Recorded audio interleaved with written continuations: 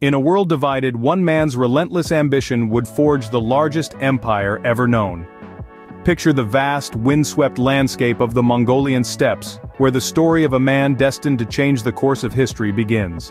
Amidst the harsh realities of 12th century Mongolia, a child named Temujin was born. Amidst the harsh realities of 12th century Mongolia, a child named Temujin was born. Amidst the harsh realities of 12th century Mongolia, a child named Temujin was born. With the howling winds as his lullaby and the rugged terrain as his playground, Temujin's early life was etched by hardship and resilience. The unforgiving steppes molded him, taught him to survive, to endure, and ultimately, to conquer. The unforgiving steppes molded him, taught him to survive, to endure, and ultimately to conquer.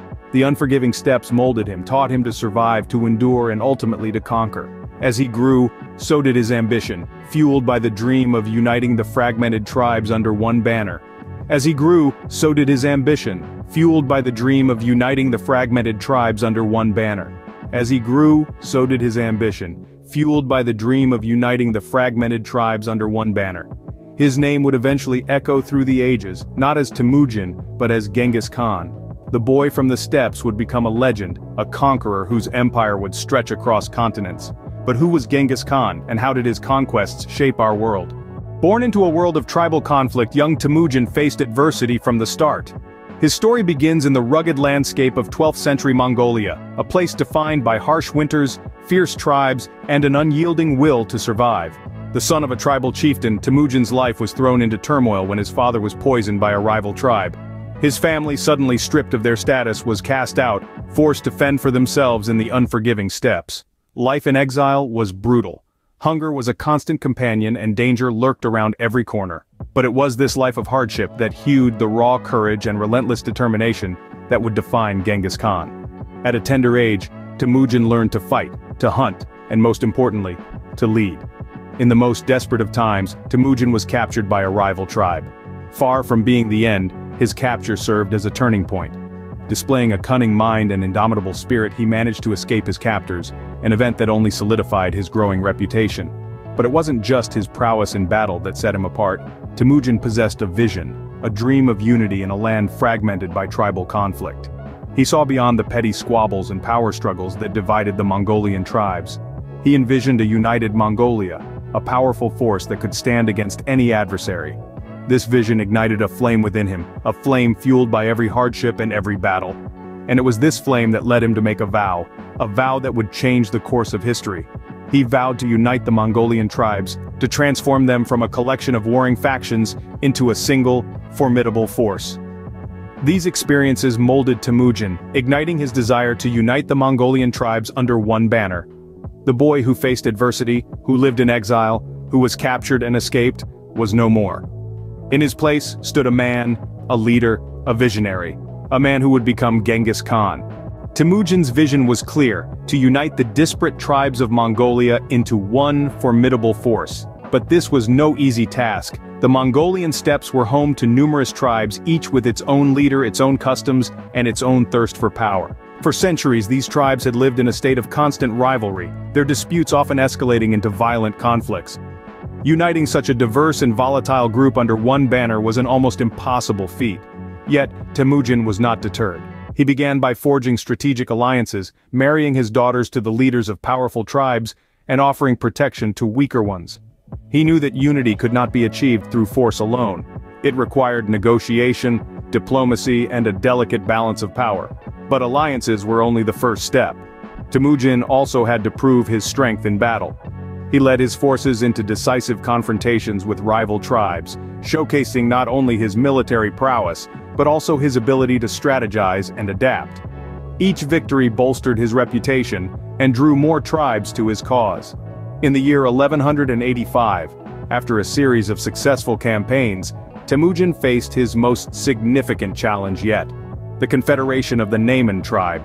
The Nayman were a powerful force, and their defeat would signal the end of tribal rivalry in Mongolia. The battle was fierce, but Temujin's strategic genius prevailed. With the Nayman's defeat, Temujin's dream was within reach. The remaining tribes had no choice but to acknowledge his supremacy. In the year 1206, Temujin was proclaimed Genghis Khan, the universal ruler. He had achieved what no leader before him had, the unification of the Mongol tribes. And with this unification, he had created an army that was more than the sum of its parts. An army that was disciplined, loyal, and incredibly efficient. With his leadership, the divided Mongolian tribes were transformed into a unified, unstoppable force. They were no longer a scattered group of rival tribes, but a single entity ready to take on the world. The stage was set for the Mongol conquests, a series of campaigns that would forever change the course of history. With the Mongolian tribes under his command, Genghis Khan embarked on a series of ruthless conquests.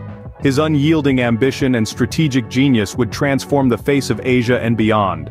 The Mongol military, known for its discipline and mobility, was unlike anything the world had ever witnessed.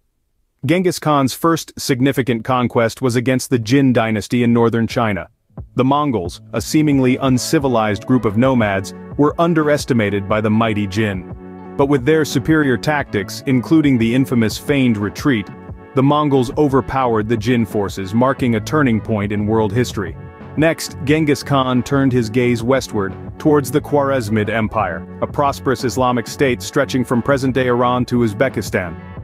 The Khwarezmid Shah, arrogantly underestimating the Mongols, executed Mongol emissaries, unknowingly signing his empire's doom.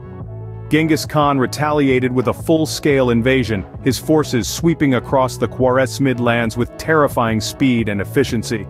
But the Mongol conquests were not just about brute force.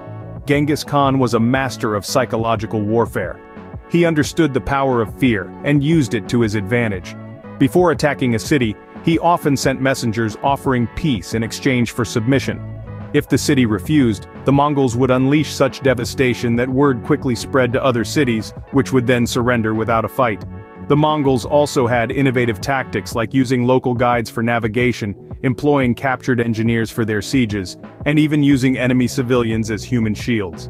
These strategies were brutal, yes, but also undeniably effective in the rapid expansion of the Mongol Empire. Genghis Khan's conquests were ruthless, but they were also marked by a certain pragmatic respect for the cultures and technologies of the conquered. He adopted useful practices, integrated foreign experts into his administration, and even allowed religious freedom within his empire, all of which played a role in the sustainability of his conquests. In a remarkably short period the Mongol Empire had expanded across vast territories, reshaping the political landscape of Asia. Genghis Khan's legacy was one of power, fear, and paradoxically, a certain respect for diversity and innovation. Genghis Khan was more than a ruthless conqueror, his reign brought about significant advancements in law, trade, and culture. Sweeping across the vast plains of Asia, Genghis Khan left an indelible mark on the world, not just as a conqueror, but also as a lawgiver, a trader, and a cultural influencer. His rule was characterized by a blend of brutal military strategies and forward-thinking policies that have shaped our world in surprising ways. At the heart of his legal reforms was the Yasa Code, a set of laws that sought to unify the diverse tribes under his rule. The Yasa Code covered everything from property rights and family law to criminal punishments. It was ahead of its time in many ways, creating a sense of order and justice across the vast Mongol Empire. Genghis Khan also had a profound impact on trade. He revitalized the Silk Road, a network of trade routes connecting the East and the West. Under his rule, the Silk Road became safer and more efficient, leading to an unprecedented exchange of goods, ideas and cultures. This helped to stimulate economic growth and cultural exchange on a global scale. Not only did he boost trade, but Genghis Khan also established an intricate postal system known as the Yam. This network of relay stations allowed messages and goods to be transported across the empire swiftly and efficiently. It was a remarkable feat of organization and logistics further cementing his legacy as a visionary leader. But Genghis Khan's legacy isn't just about laws and trade. He also promoted cultural exchange, tolerance, and intellectual growth. He encouraged religious tolerance across his empire, a rare trait in a time of religious conflict. Furthermore, he appreciated the value of learning and knowledge, often seeking the counsel of scholars and sages. Genghis Khan's rule was a paradox, characterized by both ruthless conquest and enlightened governance. He was a complex figure, a man who could be both a brutal warrior and a visionary leader.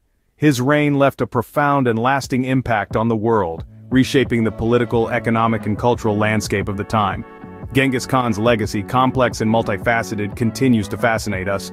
The Mongol Empire reshaped the world, touching lives across continents. Its influence was not fleeting but has endured, rippling through centuries to reach us in the present day. It was an empire that revolutionized communication, law, and trade, leaving its indelible mark on the annals of history. Genghis Khan, a figure of paradox, was a conqueror known for his ruthlessness, yet also a visionary who brought about advancements that still impact our world. His rule saw the rise of the Silk Road, a key artery of trade and cultural exchange that connected the East with the West. The Mongol postal system, another innovation, was a marvel of its time, enhancing communication across vast distances. As we reflect on the lasting impact of the Mongol Empire we find ourselves in modern Mongolia, from the vast steppes of Mongolia, Genghis Khan's influence extends far beyond his time, leaving a mark on the world that is still felt today.